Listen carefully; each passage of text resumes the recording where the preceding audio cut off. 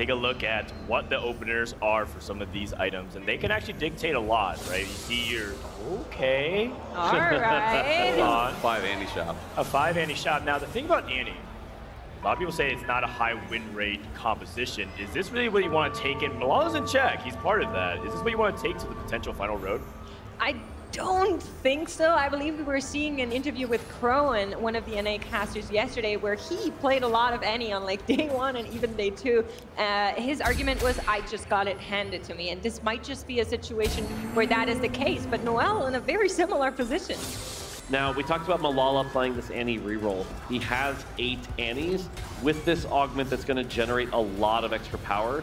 So if, if Annie could win a lobby, this is about as good as you can ask for. And he's Oh, only Gets an Amumu. Yeah, Mumu Wow. and Ekko. He's only rolled twice, by the way, or two golds, excuse me, I think, spent on rolls. So one roll that he's actually spent so far. So I expect him to try to roll for it uh, right here on four, and we'll see if he can hit. If he can hit right now without spending too much gold, I think he's going to be in a great spot. That's actually really cool because that means he's rolling dynamically on stage two. He's not just saying, I'm just going to wait in AFK. And he's collected a few Annies since. Let's see if he can hit very fast. If he goes down, Yeah, oh, wow. 30 gold. And that's the money spot. That's enough for you to economy back up, get to level six, and keep on pace with the tempo. This is the moment where you kind of do the question mark thing. Like, wait, we're running Annie? Yeah. I mean, this is exactly when you want to hit it, right? This is when you play around the situation where you, you natural these Annies, you had the eight, we saw he just naturaled them, was open to the line. We've even seen a seven country board lose to that. Yeah, we, that is also true as well. He goes up against Annie 3 here from Milala, who still is not any closer to that Shojin, by the way. He also only has three Samiras, and when the stats came up, it said I think there was only nine remaining in the pool. So people are holding some, people are playing some at this point. Okay. So uh, it is definitely an awkward spot. Maybe we're not going to stay on it, though, for Yeah. some. Um, I saw so- Little Buddies, which is really high. Oh, raise the tempo. This is a really unique augment board.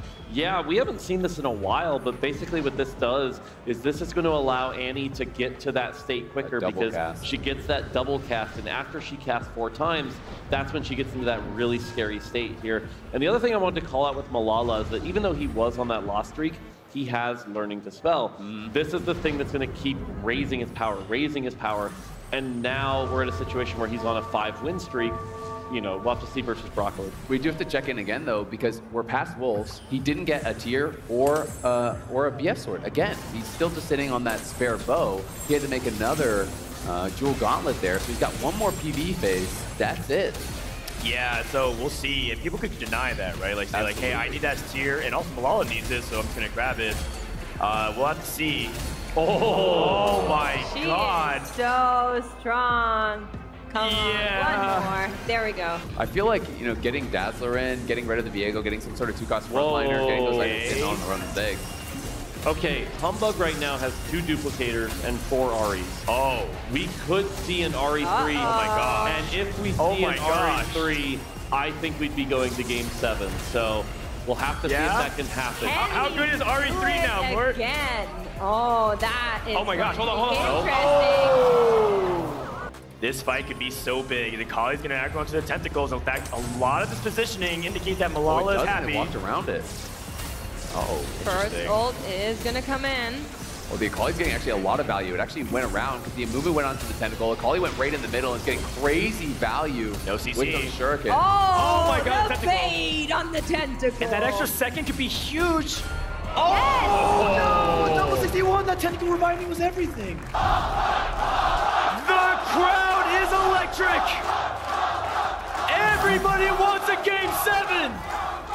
This is going to be a hard fight, though. This Annie has been stacked up for so long, has great augments to get her ramped up. We talked about it wasn't ideal items, but he made it work. He's got this Annie with that learn to oh spell. God. Just a great use of the augments. Milala's capped. So much of it is about the positioning with the Qiyana, right? We saw the difference the Qiyana made here for Yes. Humbug in that last round. Can he actually get it onto this Illaoi? And these tentacles beat everything. Yeah. When they position.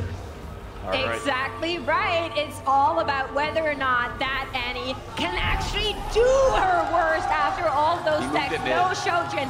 We've been doubting her, but she is here to knock out units one after another. Humbug holding strong, trying to get us into that game seven. The Ahri's on the Qiyana. The Ahri's on the Qiyana. Solo falls to the Annie. And he's still working on the front line, but now the front line's fallen. Here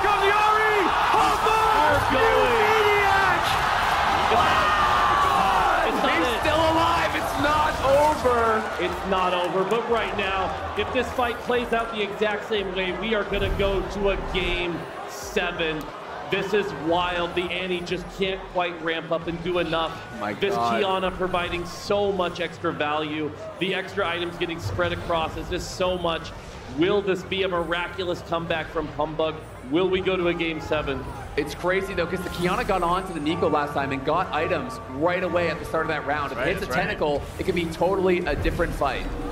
And here we go, final fight of the game. Who's gonna win it? This is going to decide everything one more time. Oh, Ahri Qiyana. versus Annie. Can the Qiyana sustain herself? She's in the middle of the No. field, falling down Oh my God. to the Annie.